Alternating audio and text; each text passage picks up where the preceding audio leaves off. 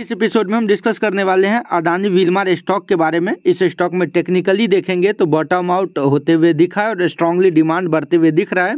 और दो breaking news भी ट्रेंड होते हुए दिख रही है। पहला न्यूज़ हमने ये देखा कि गेहूँ के प्रोडक्शन को लेकर के कि इसके एक्सपोर्ट को बैन कर दिया गया है और ऑलरेडी अडानी विलमार को आप देखेंगे तो सेकेंड लार्जेस्ट ब्रांड है। गेहूँ के मामले में भी, आटा के मामले में आप देखेंगे। फॉर्चून के ब्रांड से वेल नोन ब्रांड है और कंटिन्यूस ग्रो करते हुए दिख रही है। ऑलरेडी स्टोर में काफ़ी रॉ मटेरियल है और दूसरा न्यूज़ ये ट्रेंड होते हुए दिख रहा है जो कि रिसेंट आज की ही न्यूज़ है कि इंडोनेशिया ने जो पाम ऑयल के एक्सपोर्ट पे बैन लगाया था उसको हटाते हुए दिखा है और श्योरली टेक्निकली ये स्टॉक एक स्ट्रॉन्ग अपट्रेंड में है जहाँ 620 का एक रेजिस्टेंस था, वो एक माइनर रेजिस्टेंस को इस स्टॉक ने क्रॉस किया। अगेन ये स्टॉक 850 900 के टारगेट के लिए तैयार होते हुए दिख रहा है। अगर ऑलरेडी इन्वेस्टेड हैं तो पोजीशन बनाए रखें।